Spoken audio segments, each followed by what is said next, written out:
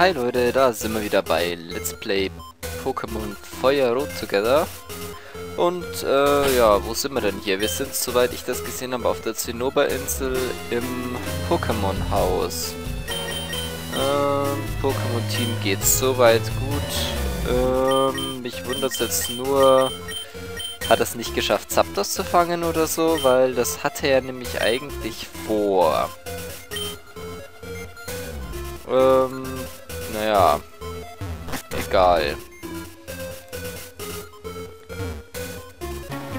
Wie viel haben wir denn hier schon gemacht? Ich schaue einfach mal, wie viel wir hier schon gemacht haben und schaue dann weiter. Oh, da ist auf jeden Fall ein Glumanda. Ähm, ja, da hauen wir eine Stärke rein sollte nämlich für einen Glumanda allemal reichen. Bei einem Blutexo bin ich mit dabei jetzt allerdings schon nicht mehr so ganz sicher. Lieber auf Nummer sicher gehen und einen Donnerblitz machen.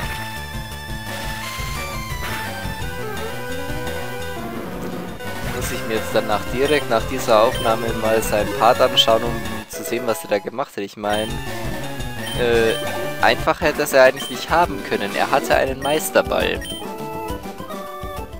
Und der war für nichts wirklich Großartiges verplant. Den hätte er also eigentlich ruhig schmeißen können. So. Hier ist auch nichts mehr. Schutz war an, okay noch mehr Schutz? Ja, da. Top-Schutz. Warum kein Superschutz? Superschutz ist, ist günstiger. Und Calcium. können wir wieder schön bei irgendeinem Pokémon den Spezialangriff erhöhen. Naja, so. Jetzt müssen wir hier auf jeden Fall mal an die Statue ran. Dann können wir hier nach oben. So, was geht hier noch? Eisen. Muss ich nachher vielleicht direkt mal eine Vitamine-Verteilrunde wieder machen. Hier auf jeden Fall wieder den Schalter drücken und dann... Mein, mein Mentor lebte einst hier. Ja, schön für deinen Mentor. Forscherkarel. Magnetilo hat er. Ja. Ich habe jetzt keine Lust, mich einzuschaufeln, deswegen tut es auch einen Durchbruch.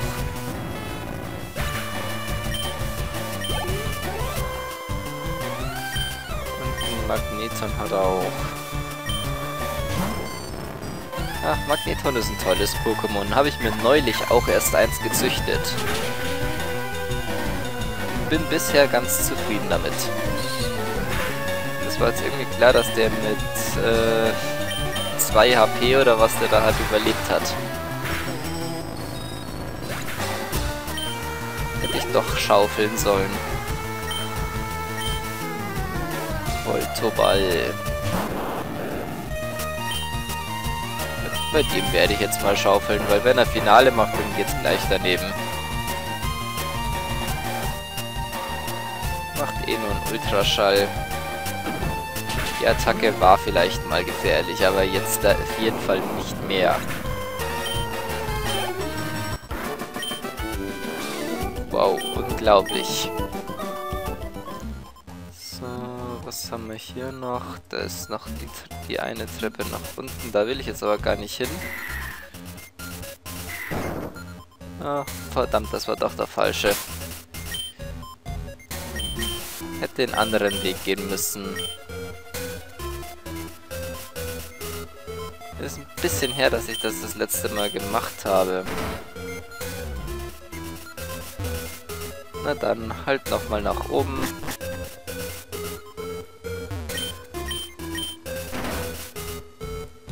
Nochmal nach unten. Diesmal war hoffentlich den richtigen Weg. Genau hier wollte ich hin. Ähm, Mike hat noch keinen Level-Up bekommen, das heißt, der darf weiter kämpfen. Wer bist du? Hier hat niemand etwas zu suchen.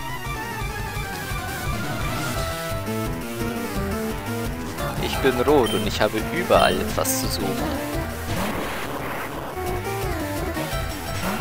Elektroball. Gerade mal Level 29. Kannst du noch so schnell sein? Mit dem Level überholst du mich nicht.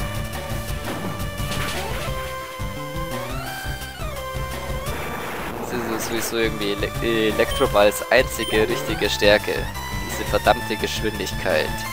Smogmog. Ja, da möchte ich ausnahmsweise mal wechseln. Kämpfe ich auch nochmal wieder mit dem hier. Der Rüsselmops. Äh, beim Attackenset hat sich seitdem nichts getan. Gut. Einfach Psychokinese, voll Kanne drauf und dann fällt auch das Smogmog um. Wenn schon nur diese eine wirkliche Schwäche hat.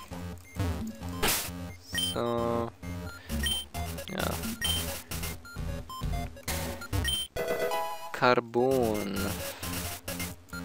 Können wir nachher auch noch ein bisschen Init e.V. verteilen.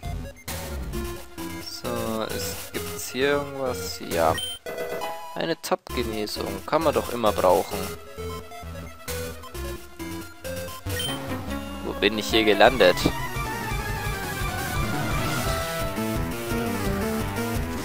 Herausforderung von Dieb Ludwig. Der hat einen Fukano. Und er bedroht mich jetzt erstmal. Naja, äh, soll mir egal sein, dann greife ich dich halt so an. Da brauche ich keinen Angriffswert dafür.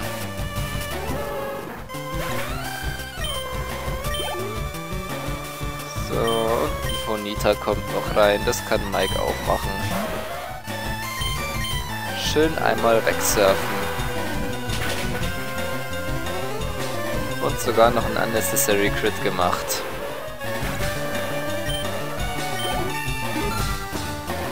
Und Mike erreicht Level 41 bin mir nicht sicher, aber ich glaube, der müsste bald eigentlich seine letzte Attacke lernen.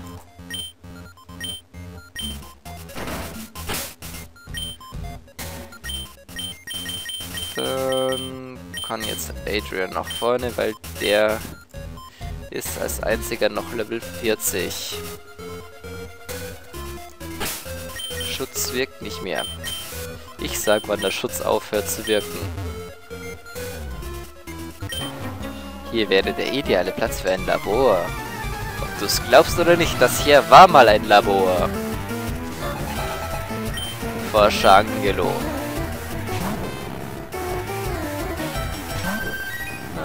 Natürlich haben wir jetzt wieder Magnetilos hier. Aber das sollte kein Problem sein, weil bei Adrian Spezialangriff und vor allem bei seinem Crit Luck sollte das kein Problem sein, die Viecher irgendwie zu one-hitten bei Elektroball sehe ich da auch kein Problem. Bei Elektroball jetzt wahrscheinlich sogar schneller sein könnte. Ja, habe ich mir fast gedacht, aber das sollte trotzdem nicht allzu viel abziehen. Es sei denn, er macht einen Volltreffer. Und paralysiert mich auch noch. Jetzt hätte es nur noch gefehlt, dass ich vor Paralyse nicht angreifen könnte, dann wären alle drei Zufallseffekte in diesem Kampf gegen mich gelaufen.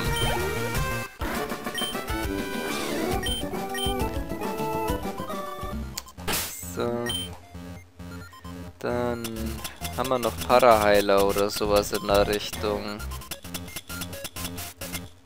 Gegengift und Feuerheiler haben wir noch.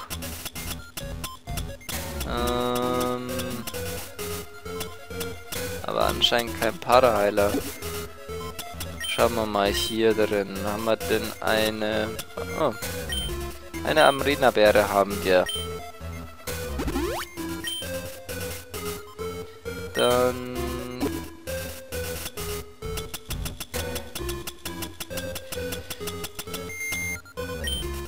Wie wär's damit? Noch ein Supertrank hinterher. Bei Adrians massigen KP nicht wirklich viel. Oh, der Blizzard. Das TM14. Oh. Leider nicht wirklich so eine tolle Attacke, weil mit nur 70% Trefferchance ist nicht unbedingt mein Fall.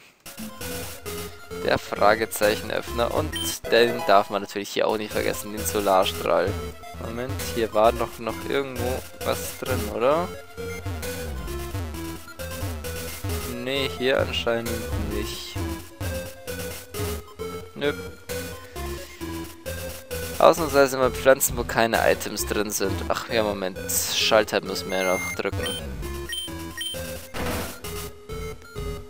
Sonst kommen wir hier nicht mehr raus. Oh. Ja. Den Schalter müssen wir auch nochmal drücken. So, wo ist der Top Shot? Da unten muss der irgendwo sein.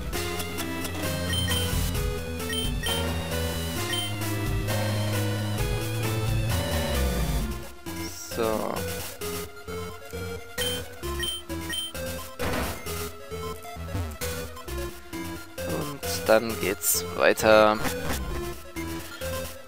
Und raus hier vor allem. Ach, die schöne Musik von der Zinnoberinsel.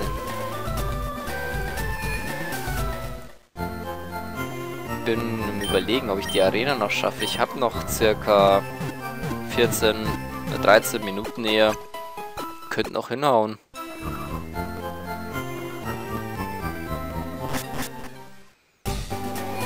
Probieren geht über Studieren. Probieren wir es einfach. Jetzt, wo ich den Fragezeichen öffner habe und ich werde gar nicht auf das Quiz eingehen, ich werde einfach direkt alle Trainer verhauen. Man könnte zwar hier ein Quiz machen und alle Trainer umgehen, aber ich mag das nicht.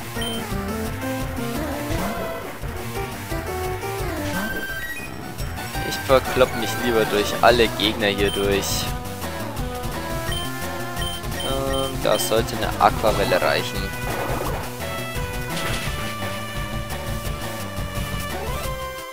Dicken Attacken spare ich mir für Pyro dann auf. Ein Vulpix. Das ist ein sehr tolles Pokémon, vor allem wenn es seine versteckte Fähigkeit hat die es hier ja noch nicht haben kann, weil die versteckten Fähigkeiten erst seit der fünften Generation existieren.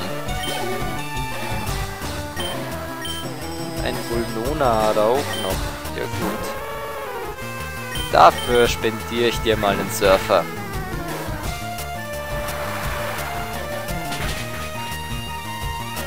Die ganz dicken. Die Arena hier sollte eigentlich kein großes Problem sein.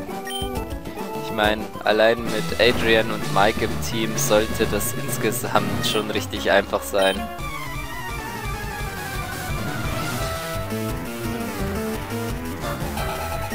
Weil mit einem Boden- und einem Wasser-Pokémon gegen eine Feuer-Arena, ich sehe hier überhaupt kein Problem.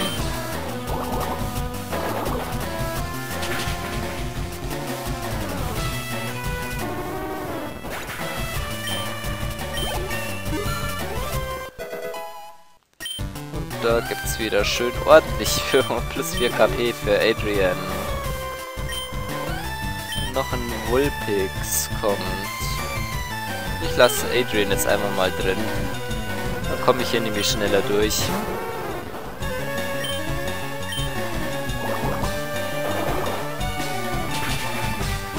Vor allem ist es meine Gelegenheit, jetzt endlich nochmal den Orden zu holen.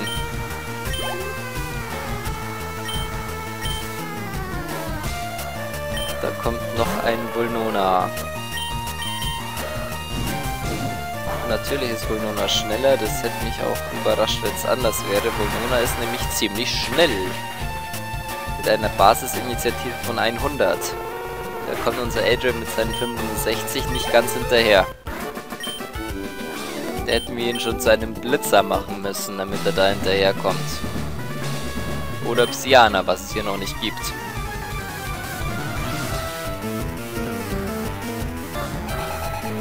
Besser gesagt, was man hier nicht äh, kriegen kann, außer durch Tausch.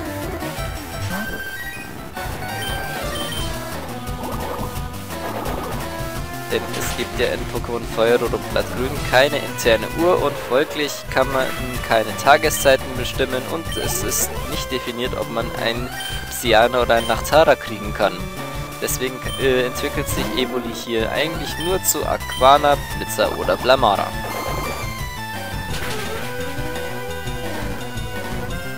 Aber das ist ja vollkommen okay so, denn Aquana ist sowieso wirklich der beste von den ganzen.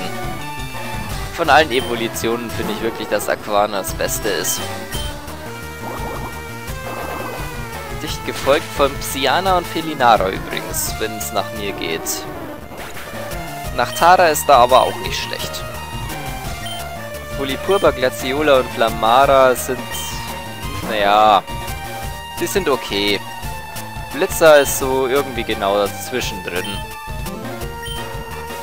Blitzer hat äh, nach der fünften Generation ziemlich stark an Präsenz verloren, nachdem so viele Prioritätennutzer mit ins Spiel gekommen sind und vor allem so stark, also seitdem Priorität vor allem so wichtig geworden ist. Seitdem hat Initiative leider nicht mehr so viel zu sagen. Das heißt, äh, Blitzers bester Stat ist leider mehr oder weniger so fast außer, Gese außer Gefecht gesetzt. Es ist in manchen Sachen noch nützlich, klar. Aber im Vergleich zu dem, was es in der fünften Generation an Präsenz hatte, ist es jetzt so gut wie gar nicht mehr gespielt.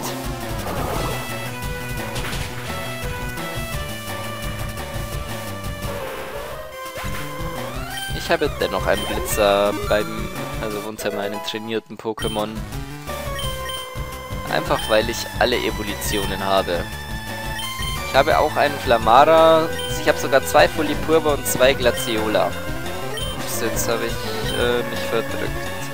Nein, du sollst nicht lernen und ja, du sollst ihn wirklich nicht lernen. So rum müssen wir es drücken. Genau. Du bist brandgefährlich. Ich brenne aber nicht, ich lösche nur euer Feuer. Ich weiß, warum Pyro ein Trainer geworden ist. Ja. Was du nicht sagst, ich weiß es auch schon. Galoppa. Und das kriegt auch einen Surfer ab. Der Feuerwirbel nicht. Na dann schauen wir mal. Das Surfer sollte es one-hitten. Sodass der Feuerwirbel keine Chance hatte, überhaupt irgendwas zu machen. Ja, da hat er sich wieder die Finger verbrannt zwei Trainer noch und dann bin ich beim Arenaleiter. Das sollte noch auf jeden Fall ausgehen.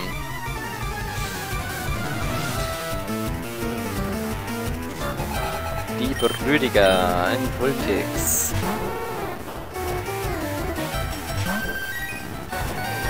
Und da gibt es wieder eine schöne kleine Aquavelle.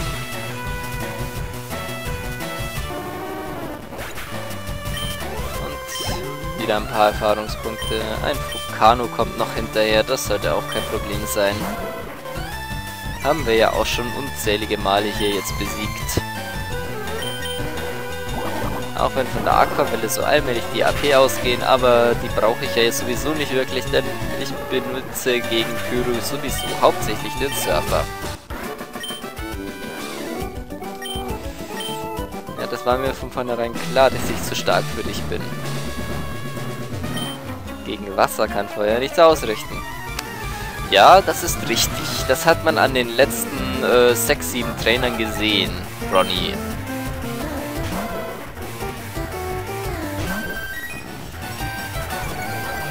Ach, der Bedroher, der raubt mir die Zeit. Aquavelle.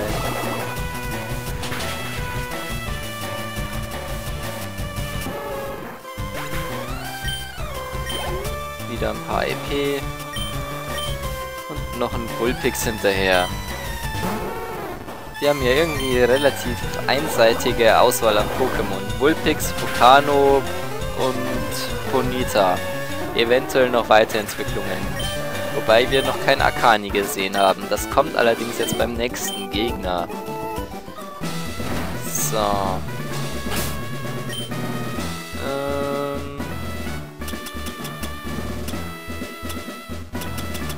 Glaube, wir können mal schnell einen Supertrank für Adrian spendieren. Damit er auch mit vollen KP in diesen Kampf reingeht. Also dann, wollen wir mal anpacken, ne? Haha, ich bin Pyro, der Arenaleiter der Zinnoberinsel. Meine Feuer-Pokémon lassen die Siegesträume meiner Gegner in Flammen aufgehen. Du solltest Feuerheiler parat haben. Das Internet-Meme schlechthin. You better have Burn Heal. Herausforderung von Leiter Pyro. Der schickt ein Vulcano in den Kampf. Bedroht mich natürlich erstmal. Das ist aber kein Problem, weil wir greifen ja speziell an. One-hitten erstmal dieses Vulcano. Und das ist schön verdientes Level-Up für Adrian. Als nächstes kommt Ponita. Ach, damit Mike hier auch noch mal was zu tun hat. Damit er sich hier nicht so unterfordert fühlt. Ähm, mal, mach mal Schaufler, ja. Macht mehr Schaden. Tut sich jetzt zwar fast nichts zwischen den beiden Attacken, aber Schaufler sollte ein bisschen mehr machen. Mike hat schließlich ein bisschen mehr Angriff als Spezialangriff. Das sollte die 5 Punkte in der Basisstärke locker wettmachen.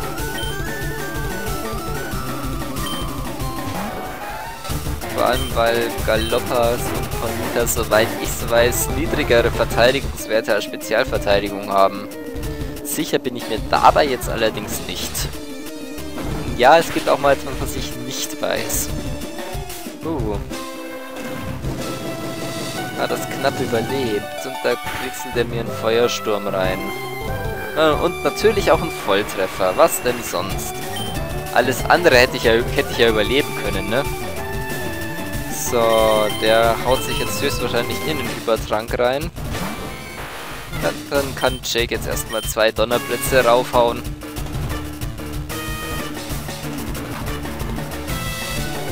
Sollte nämlich eigentlich auch reichen. Ja, reicht locker.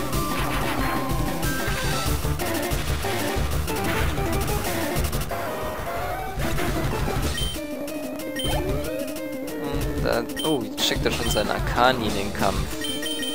Ja, dann... Schicke ich lieber gleich den Experten für sowas. Oh, ganz vergessen, es ist ja schon sein letztes Pokémon.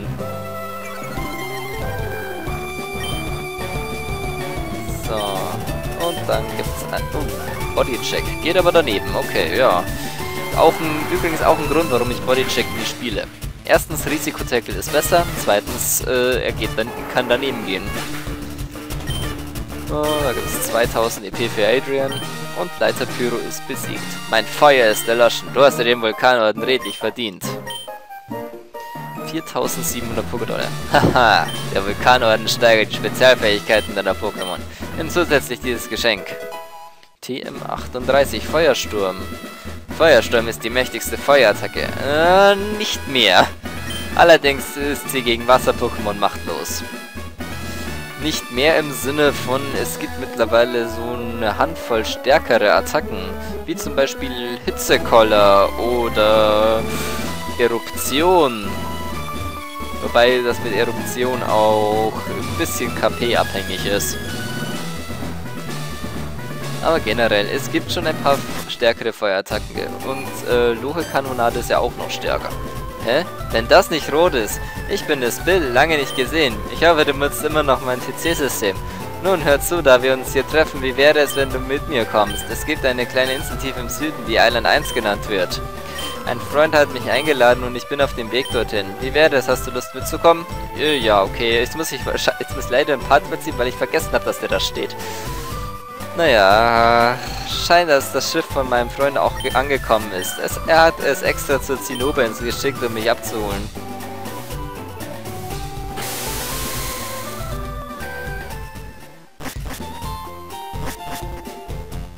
Wir sind da, das ist Island 1. Hier gibt es mehrere Inseln und diese hier ist eine davon. Mein Freund Celio hat das Schiff geschickt, um mich abzuholen. Er ist ganz alleine für das PC-Netzwerk auf der Insel zuständig. Warum ich dir das erzähle? Lass uns zu Celio gehen. Uh, da darf ich Drago jetzt dann gleich mal ins kalte Wasser schmeißen, weil den Part von dem Spiel kennt er nicht. Hallo Celio. Bill, ich kann es nicht glauben, dass du hier kommst. Selbstverständlich. Was macht deine Forschungsarbeit? Oh, warte mal. Rot, das ist mein Freund Celio. Er ist ein passionierter PC-Maniac. Celio, das ist Rot, ein aufstrebender Trainer auf dem Weg zum Pokémon-Champ. Das ist beeindruckend. Es tut mir leid, aber ich habe nichts für das Kämpfen übrig. Egal, freut mich, dich kennenzulernen. Was gibt es Neues? Was macht deine Maschine? Sie läuft gut, aber wir sind einfach zu weit entfernt. Zwischen den PCs auf dieser Insel und deinem kann keine Verbindung hergestellt werden. Oh, wirklich? Lass mich mal sehen. Moment noch. Ich denke, das kriegen wir hin. Darf ich dir helfen? Rot, darf ich dich bitten, vor der Tür auf mich zu warten? Kann ich dich um einen Gefallen bitten? Die Nachbarinsel heißt Island 2. Dort gibt es jemanden, der die Spielhalle betreibt. Er hat dieses F Fable für seltene Steine und Juwelen. Wir bleiben in Kontakt. Darf ich dich bitten, diesen Meteoriten zu ihm zu bringen? Rot, nimm, nimm dies mit, wenn du nach Island 2 gehst. Tripass erhalten. Es ist ein Pass für die Fähre, zwischen, die zwischen den Inseln fährt. Damit kannst du Island 1, 2 und 3 bereisen. Oh, das kannst du auch gebrauchen. Die Karte von Rot wurde erweitert. Ich treffe dich später, richte den Typen einen Gruß von mir aus. Ja, äh, nachdem ich jetzt sowieso schon eine Minute über meinem Part drüber bin, äh, ich lasse Drago jetzt einfach mal hier raus und sage ihm gar nichts. Mal schauen, wie er darauf reagiert, weil das ist wirklich der Teil von dem Spiel, den er nicht kennt. Ähm, ja. Ansonsten sage ich, ja, bis zum nächsten Mal und mal schauen, wer den achten Orden kriegt. Bis dann, ciao.